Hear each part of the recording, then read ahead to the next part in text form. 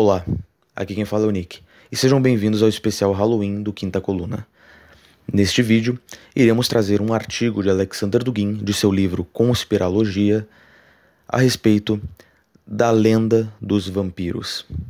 Nesse texto, Dugin trata da onde vem a lenda dos vampiros, como ela se relaciona com os antigos arquétipos e símbolos das antigas tradições e o que os vampiros representam e simbolizam na nossa cultura popular atual.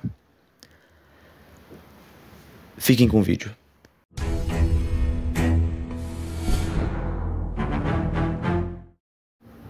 O tema dos vampiros se tornou extremamente popular na literatura, no teatro e no cinema a partir de um certo momento.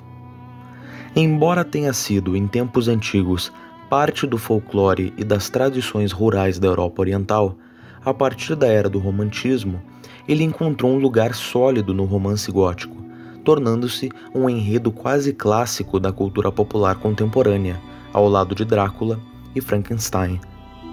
O número de filmes sobre vampiros praticamente igualou o número de adaptações de detetives, thrillers, filmes de faroeste e romances de amor. Temas de amor e crime são extremamente populares, por razões bastante compreensíveis. O medo e a atração sexual são instintos básicos do ser humano, o que mantém um interesse constante nesses assuntos. Mas o que os vampiros têm a ver com isso? Essas criaturas exóticas das lendas medievais e o fascínio doentio pelo folclore sombrio dos decadentes românticos isolados de alguma forma não se encaixa nas preocupações cotidianas que cativam as massas em todo o mundo. Vamos tentar entender essa questão e descobrir as razões por trás desse fenômeno estranho chamado de vampirismo ou vampiromania. O arquétipo dos vampiros nos Mistérios Solares. Histórias sobre mortos-vivos malévolos que ressuscitam como vampiros, súcubos e lobisomens que se alimentam do sangue de vítimas inocentes são particularmente comuns nos Balcãs e no sudeste da Europa. Acredita-se que a terra natal dos vampiros seja a Transilvânia, uma parte da Romênia. O vampiro mais famoso que serviu como protótipo para muitas lendas foi uma figura histórica, o príncipe romeno Vlad o Empalador, conhecido por sua coragem e crueldade na luta dos cristãos contra os conquistadores turcos. Curiosamente, os romenos o consideram um herói nacional que realizou muitos atos patrióticos nobres. No entanto, o corajoso defensor do cristianismo não agiu como um santo após a morte. Em vez disso, continuou a viver uma vida sobrenatural especial do outro lado da sepultura. Mas agora, para sustentar essa existência, ele precisava de um tipo especial de alimento: o sangue humano. Ele se transformou em Drácula, ou seja, um dragão, um monstro assustador que saía de sua tumba à noite para se alimentar do sangue de suas vítimas, escolhidas entre os moradores das aldeias vizinhas ou viajantes atrasados.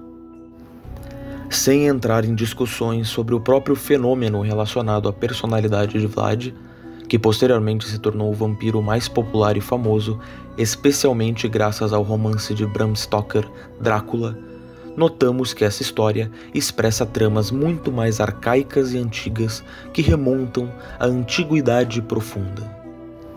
A base do enredo dos vampiros é o mito antigo do solstício de inverno, que é típico de muitos outros enredos mais sagrados, tanto arcaicos quanto modernos.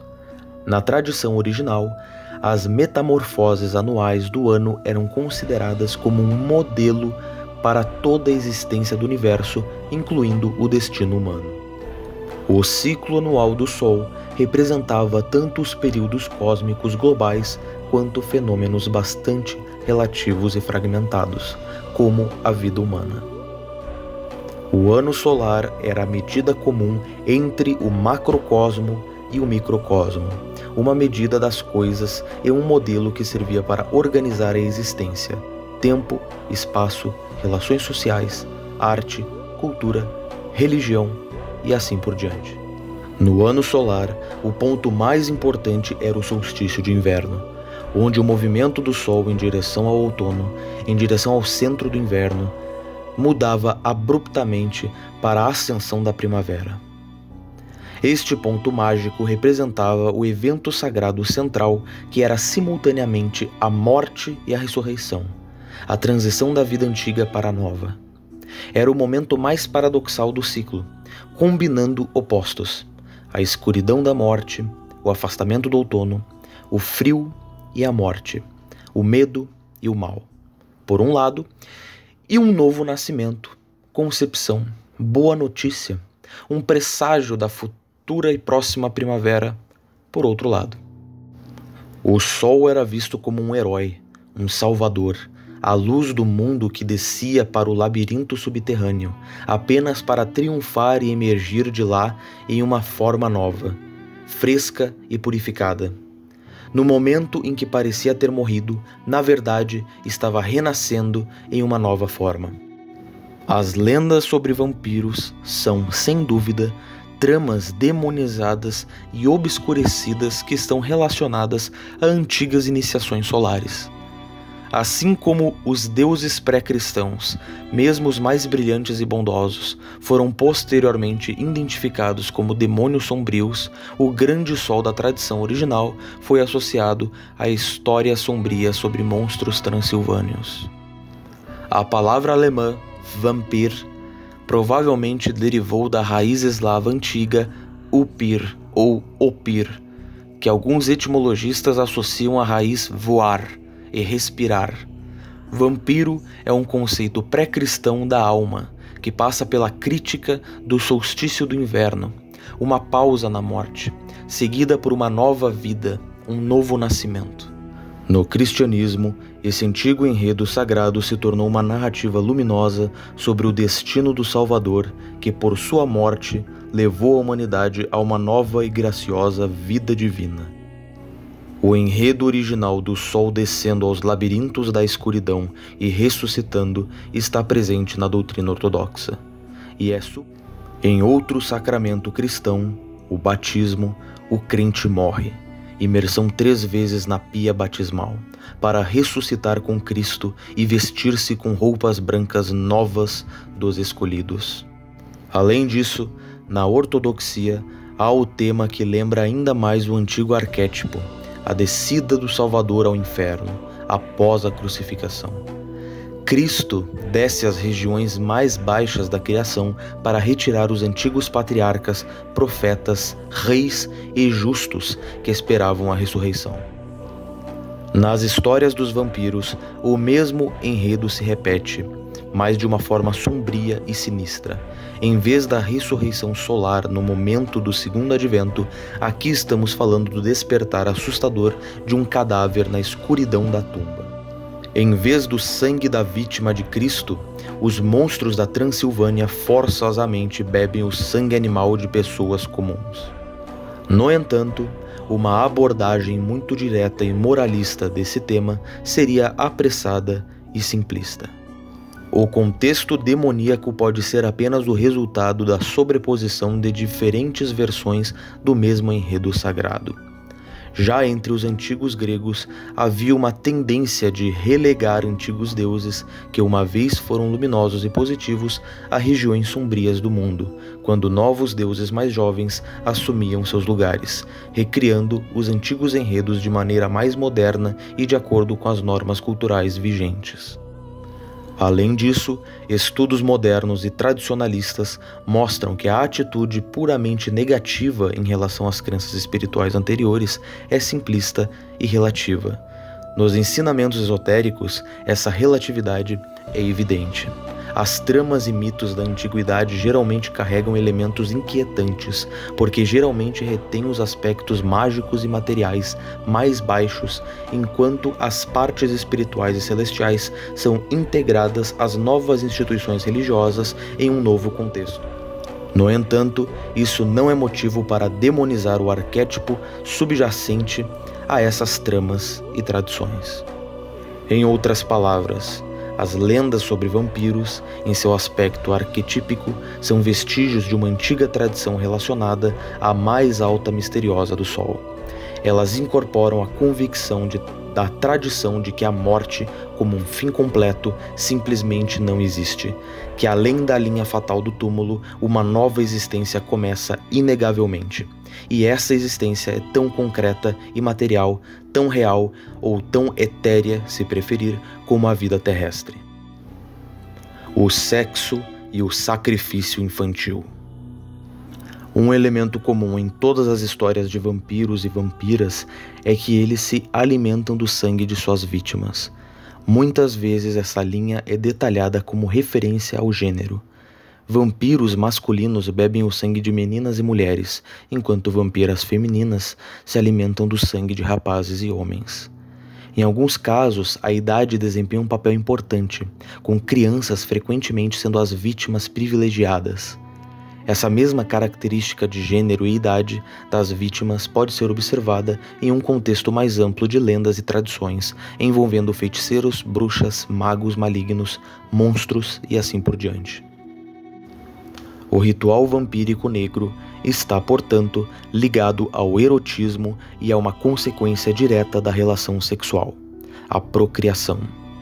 Considerando o simbolismo solar subjacente ao enredo dos vampiros, essa conexão faz sentido. As crianças simbolizam a nova vida, o nascimento do ano novo após o momento mágico principal, o solstício de inverno. O símbolo do bebê é uma característica distintiva de todos os mistérios de Ano Novo em culturas muito antigas. Eles também aparecem de forma previsível nas histórias de vampiros. No entanto, como tudo neles é tratado de forma infernal e demonizada, as crianças desempenham o papel de vítimas. Antes do nascimento, ocorre o coito. Nas antigas culturas arcaicas, o nascimento do novo sol era precedido pela hierogamia, o casamento sagrado entre o céu e a terra, representado como um ato ritualístico de um sacerdote e uma sacerdotisa, ou um rei e uma rainha.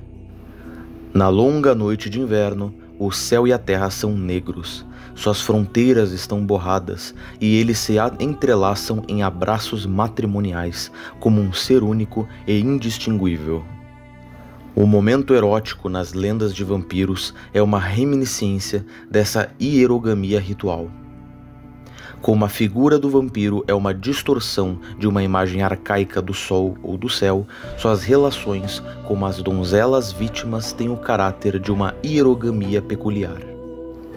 Além disso, o fato do vampiro sugar o sangue da vítima em vez da união sexual convencional, absorvendo assim sua substância vital, aponta para a natureza mágica e iniciática dessa cerimônia.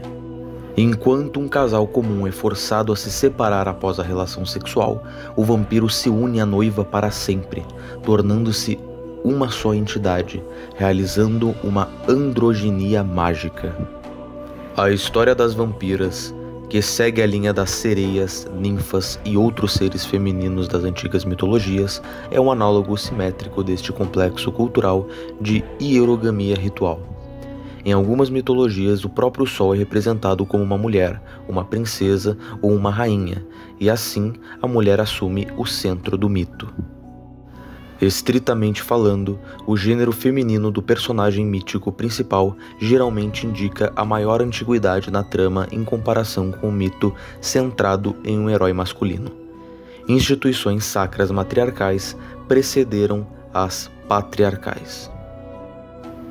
Portanto, a presença de temas eróticos e o sequestro de bebês nas lendas de vampiros podem ser explicados por sua afinidade com o mesmo complexo ritual e calendárico ligado ao solstício, o que completa a imagem como um todo.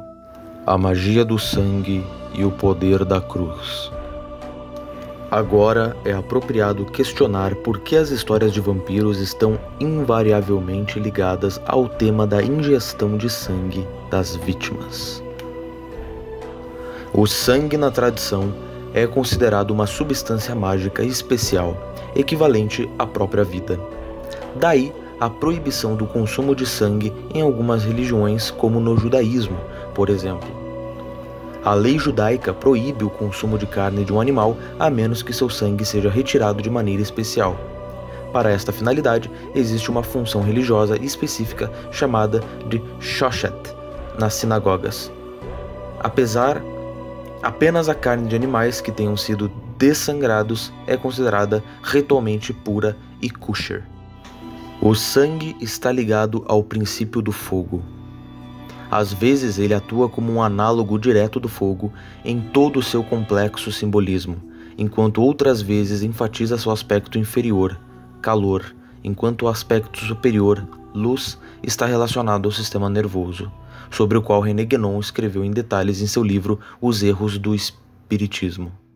O sangue é uma instância intermediária entre o nível físico e o psicológico, e o órgão que circula o sangue pelo corpo, o coração, é considerado como tendo uma substância éter no centro, ventrículo menor, pertencente ao plano sutil, isto é, chamado de o lugar de Brahma no hinduísmo.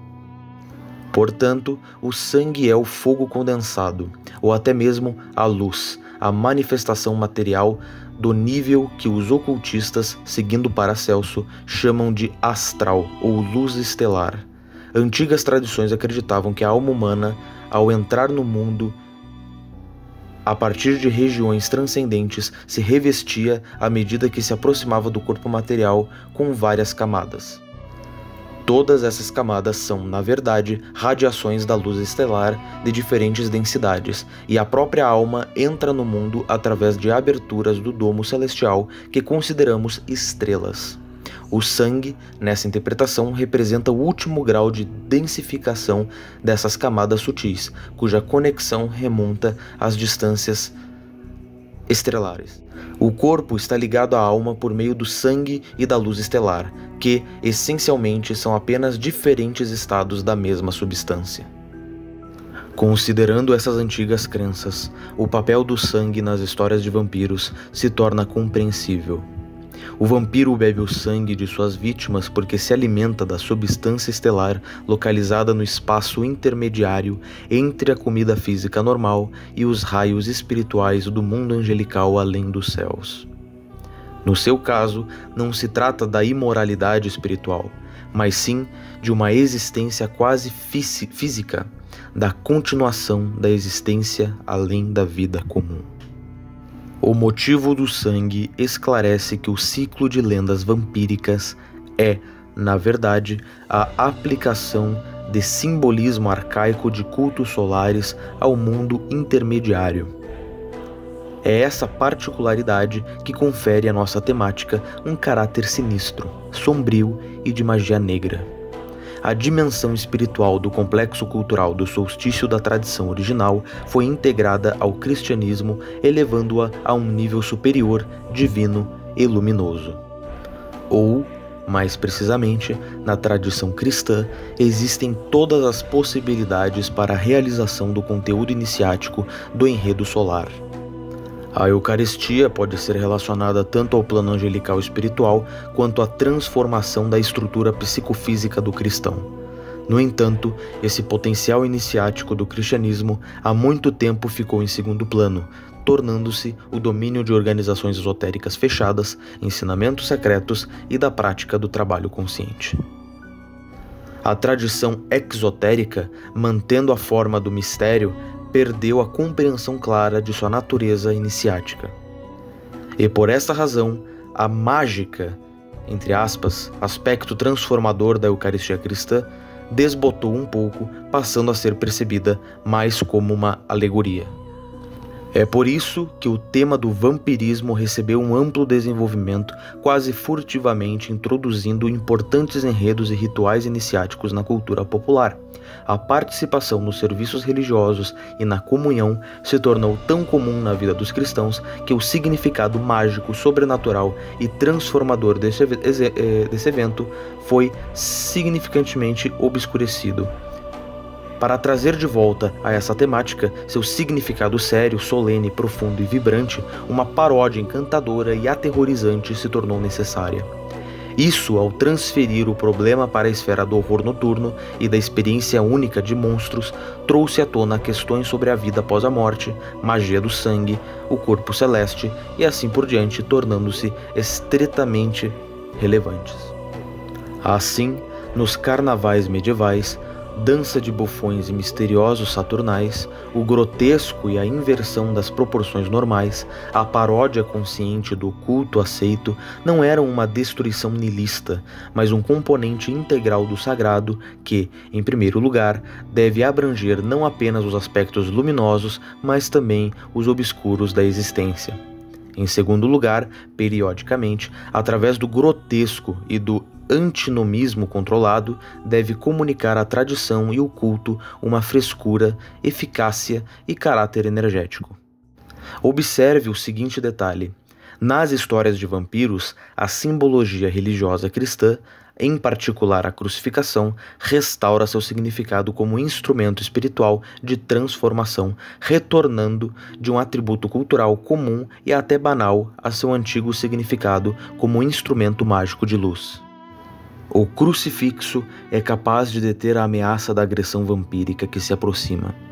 O sangue derramado pelo Salvador em nome da humanidade, com todo o seu poder, impede o monstro das trevas de despojar as pessoas de sua substância estelar da vida. Neste caso, o ciclo vampírico não é unicamente negativo, desempenhando um papel claramente positivo em relação à tradição luminosa. A trama das histórias de vampiro, uma fundação inquietante. Tudo o que foi mencionado até agora diz respeito a considerações gerais sobre o aspecto arquetípico da história dos vampiros. No entanto, isso ainda não nos aproxima de uma explicação para a estranha popularidade que este tema desfruta na cultura contemporânea. Certamente, os arquétipos têm uma forte influência na psique humana, independentemente de serem compreendidos racionalmente ou não. Mas, aparentemente, existem fatores adicionais ao jogo. Aqui, nos aproximamos de um tema muito mais amplo e pouco explorado: a influência de sociedades secretas e grupos iniciáticos no mundo contemporâneo. Atualmente, poucos duvidam de que ordens secretas e sociedades místicas desempenharam um papel significativo na vida das civilizações tradicionais. Lembremos, por exemplo, o papel dos sufistas e das ordens dos cavaleiros na política islâmica e Europa medieval. É amplamente aceito que na era moderna tudo mudou e as leis racionais assumiram o lugar dos vestígios das épocas sombrias. Em nossa opinião, essa crença amplamente aceita, tratada como um axioma, não é tão clara. No entanto, quando se trata da influência do esoterismo na política, a questão é bastante complicada, mas é mais clara na temática dos impactos das organizações iniciáticas na cultura contemporânea. Podemos afirmar o seguinte aqui: mesmo nos períodos mais racionais da história recente, e no caso dos artistas e cientistas mais modernos e sombrios, fatores místicos desempenham um papel crucial na formação estética e espiritual de uma variedade de figuras culturais. Até mesmo os fundadores do romance realista estritamente moderno, como Balzac e Zola, tinham interesse pelo esoterismo e eram membros de organizações iniciáticas. E o que dizer dos simbolistas decadentes, românticos, etc., cujas obras não podem ser decifradas de forma razoável sem considerar o misticismo? O caso dos vampiros não é uma exceção a essa regra. O autor da versão mais famosa do Drácula, Bram Stoker, era membro de uma organização mágica bastante intrigante chamada Golden Dawn fundada por Rosa Cruzes e maçons de alto grau especificamente para a prática de magia operativa e o estudo das partes mais perigosas e poderosas do esoterismo ocidental. A organização incluía figuras proeminentes como o mágico e hipnotizador Samuel Matters, o famoso poeta William Butler Yeats, o apaixonado separatista irlandês Maud Gonne a irmã do filósofo Henry Bergson, Moina, o popular escritor inglês Bowler Lytton e o sinistro ocultista Aleister Crowley, entre outros. De uma forma ou de outra, essa organização e seus membros tiveram um impacto significativo na cultura ocidental contemporânea, moldado muitos de seus temas centrais até o presente. Geralmente a influência era indireta e mediada. Partindo do ambiente concentrado e operativo da Golden Dawn, a influência se espalhava para figuras culturais proeminentes em uma forma mais diluída. A eles, por sua vez, transmitiam certos temas e enredos às massas. Isso foi facilitado pela legião de intermediários literários que republicavam variantes copiadas e assim por diante. Além disso, a Golden Dawn interagia ativamente com outras organizações esotéricas, como o Templo dos Templários Orientais, a Cadeia de Miriam, maçons, hermetistas, teosofistas, antroposofistas e rosa-cruzes, que por sua vez transmitiam seus impulsos à elite cultural que tradicionalmente tinha interesse no mundo estranho, do incomum e do grotesco. O autor de Drácula ser membro da Golden Dawn é um fato altamente expressivo e significativo. Torna-se especialmente interessante quando considerarmos que dentro da própria Golden Dawn eram praticados rituais relacionados à magia do sangue e à passagem para um mundo estelar intermediário. Além disso, eram ativamente explorados antigos mistérios solares e rituais.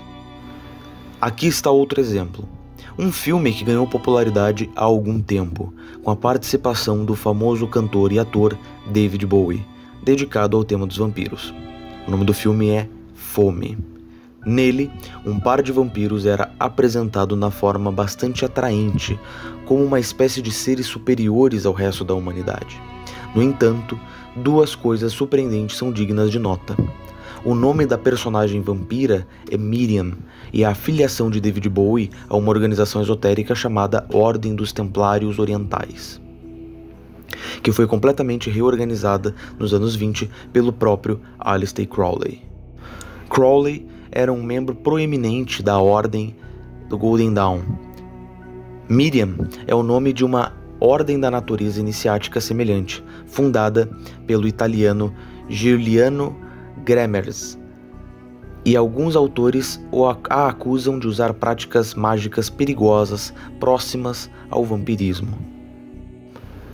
Segundo um esotérico que escreve sob o pseudônimo de Alexander de Danan, que antes era membro da Chain of Miriam, mas depois se converteu ao catolicismo exotérico, entre outros seguidores de Kremers, circula a informação de que após a sua morte seu corpo foi roubado por alguns irmãos e trazido de volta à vida. Isso naturalmente é difícil de acreditar no final do século XX. Se o autor dessas palavras não tivesse conhecido alguma das pessoas envolvidas nessa história, a pessoa que se autodenomina Alexander de Danan, o romeno Jan Paverlesco, escritor esotérico e nativo da Transilvânia, e algumas outras figuras bastante surpreendentes, ele provavelmente teria sentido nada além de ceticismo. É interessante notar que a ação do romance de Stoker, Drácula, começa em um hotel de Munique chamado Four Seasons. Por algum acaso, é lá que se estabelece o sinistro, a sinistra Sociedade Thule do Barão Sebontendorf, um ramo na qual se tornaria o notório Partido Nacional Socialista Alemão. O tema do sangue e da superação da morte ocupa os ocultistas nazistas tanto quanto os magos da Golden Dawn, sem mencionar a mitologia solar, as lendas sobre o Sonnenmensch ou o Homem Solar. Será que além dos arquétipos existe uma realidade mais concreta e aterrorizante por trás da lenda do Drácula? Algum tipo de segredo assustador e insondável? Vamos ousar e fazer a nós mesmos uma pergunta perigosa. Talvez o tema em questão seja mais do que apenas um conjunto de imagens simbólicas. O Conde Drácula, a Ordem do Dragão Verde, instituições ocultas misteriosas com um estranho poder sobre a mente e almas de nossos contemporâneos. Poderíamos formular algumas hipóteses a esse respeito, mas por enquanto vamos nos conter. Após uma análise superficial do tema dos vampiros, fica claro que pelo menos uma circunstância é evidente. O interesse por eles na cultura popular contemporânea não é aleatório. Discutimos vários aspectos desse fenômeno. Chegar a uma conclusão definitiva sobre a importância de um ou de outro fator é difícil. Apresentaremos hipóteses sobre a razão da popularidade extravagante do vampirismo nos dias de hoje, sem insistir em nenhuma delas. Primeiro, a trama dos vampiros está ligada às mais antigas crenças e rituais arcaicos sobre a morte e o renascimento do sol no solstício de inverno. Essas crenças antigas não desapareceram completamente do inconsciente humano, tornando-se o que Carl Gustav Jung chamaria de arquétipo, um elemento persistente no inconsciente coletivo. No entanto, como todos os motivos arcaicos reprimidos, o mito solar gradualmente adquiriu um caráter sombrio e assustador, acumulando muitos detalhes e pormenores alarmantes. Segundo, o mito solar subjacente às lendas de vampiros tem certas semelhanças com a doutrina cristã, mas nele temas semelhantes como morte e ressurreição, o consumo de sangue do filho do homem para obter imortalidade, etc., são interpretados de maneira elevada e celestial. À medida que o cristianismo perdeu sua dimensão mágica, a mística viva da transformação, como era na Idade Média, um importante enredo sacro se dividiu.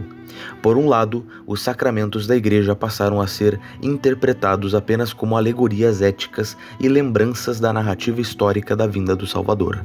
E por outro lado, o aspecto mágico se separou, revivendo antigas narrativas místicas fora de contexto cristão. Assim, o defensor do cristianismo e patriota romeno Vlad, o Empalador, transformou-se na lenda do terrível vampiro Drácula. Terceiro, o vampirismo é uma anomalia real relacionada com a degeneração biológica ou perversões sexuais. A popularidade dos mitos de vampiros reflete as distorções acumuladas na psique do homem contemporâneo. No entanto, essa hipótese, através da psicologia profunda de Jung, se entrelaça com a teoria do inconsciente coletivo, uma vez que, de acordo com a psicologia profunda, todas as perversões e complexos humanos, bem como sonhos e doenças mentais, não são nada além da voz das antigas concepções de mundo e de sua natureza que permanecem não decifradas pelas razões culturais. Isso nos leva a outro domínio, a polêmica sobre a natureza das perversões sexuais. Quarto, a temática vampírica, assim como outros roteiros comuns em filmes de terror e literatura sombria, visa fortalecer a crença das pessoas no sobrenatural, que é frequentemente ausente nas suas vidas modernas. Isso pode ter resultados positivos, já que lembra as pessoas que existem áreas em que apenas as armas espirituais, o poder da cruz e a pureza da oração são eficazes contra as forças das trevas.